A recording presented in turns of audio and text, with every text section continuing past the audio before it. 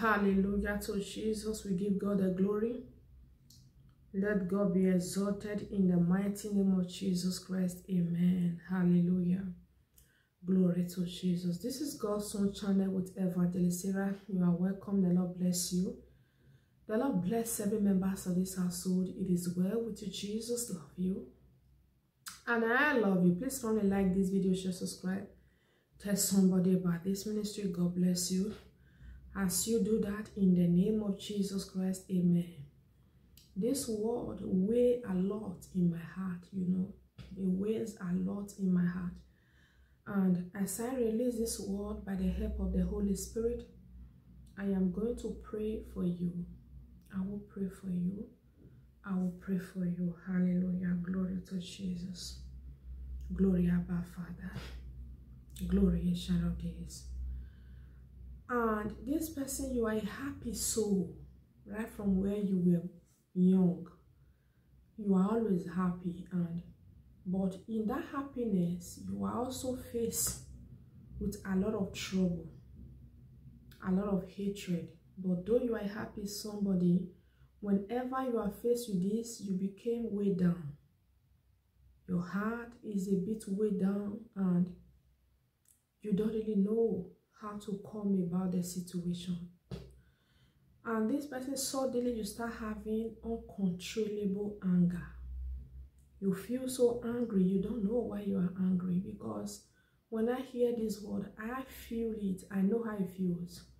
This anger now god forbid the enemy will want to make it into depression. They will want to make it into mental problem an explosive anger an explosive anger.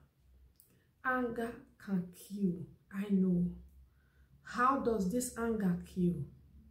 It is the enemy that want to make it become something that is not controlled that you cannot control and things start dying. The smile the happiness the joy the face that used to light up it start going blank and all of that. This is the way that the enemy can use this anger to kill this person. This is the plan of the enemy. You must understand. If you are that person this message is not for everyone. Because i see somebody you you you are a happy person. You love to smile. You love to smile. You love to be happy. But suddenly you are having this uncontrollable anger this uncontrollable anger anger is an attack on your happiness this is what you need to understand this uncontrollable anger it is an attack. It is an attack on your happiness. This is the plan of the enemy to kill the happy person that you used to be. You're asking yourself, why am I even angry? Why, why am I upset? Why the anger? You don't even know that why you are angry, but you see yourself being angry.